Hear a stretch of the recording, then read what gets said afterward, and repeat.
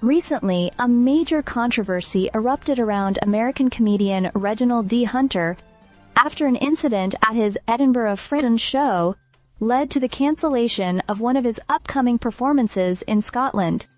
Hunter, known for his boundary-pushing humor, found himself at the center of a heated debate after remarks during his show sparked accusations of anti-Semitism.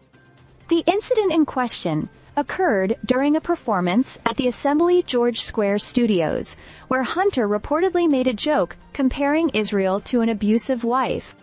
This joke provoked a strong reaction from two Israeli audience members, who objected to the content and were subsequently heckled by others in the audience as they left the venue.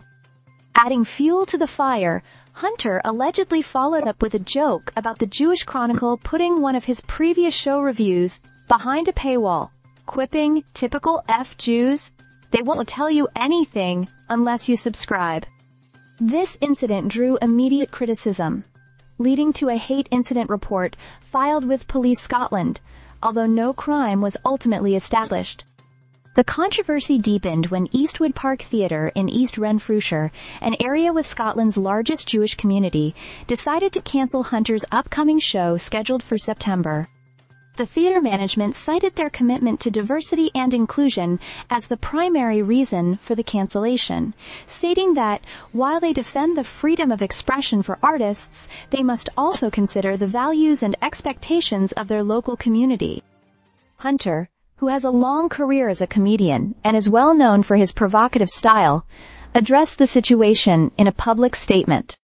He expressed regret for any stress caused to the audience and venue staff, but maintained his stance as a comedian who pushes boundaries in his work. He emphasized that his intention was never to cause harm, as he is staunchly anti-war and anti-bullying. Despite the cancellation, Hunter has continued to perform, even repeating the contentious joke in a subsequent show, which was met with laughter and applause from the audience.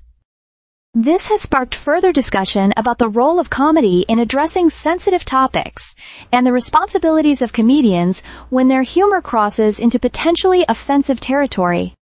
The broader implications of this incident highlight the ongoing tension between freedom of expression and the need to respect diverse audiences.